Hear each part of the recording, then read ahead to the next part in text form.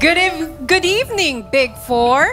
Good evening. Good evening po, Mr. Yes, good evening. Gaya ng tradisyon namin sa mga nakaraang seasons, ipapakita ko muna sa inyo ang itsura ng inyong kapalaran.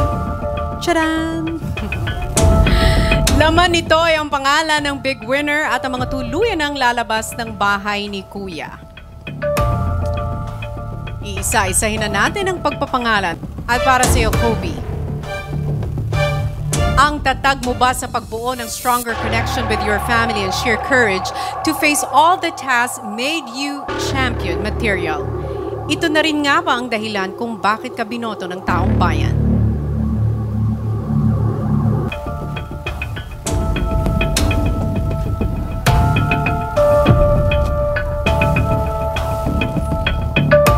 Ang pangalan ng ating third big placer ay nakakuha ng 3.36% of the combined votes.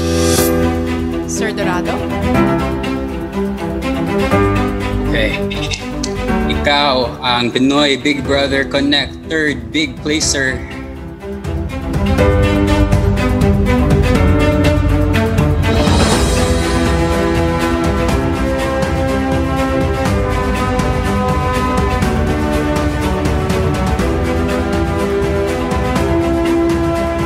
Kobe.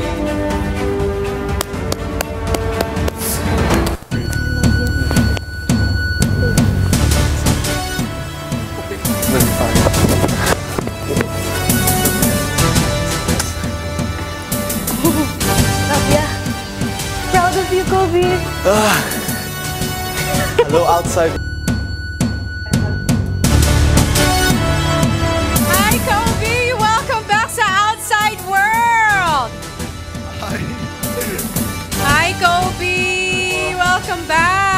Bilang isang housemate ni Kuya, what was your biggest realization when you were inside the house after this whole experience?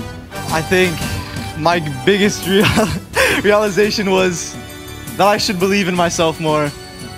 Um, before this, I didn't really believe that I could do much, but being in this house, I really believe in myself, and I really, really did my best and worked hard. Um, whatever challenge, so definitely I believed in myself even more. Yeah. Yes! At kitang-kita naman namin kung paano ka nagsumikap sa loob ng bahay ni Kuya kaya you made it this far! Thank you po. Umabot ka ng big night. Congratulations!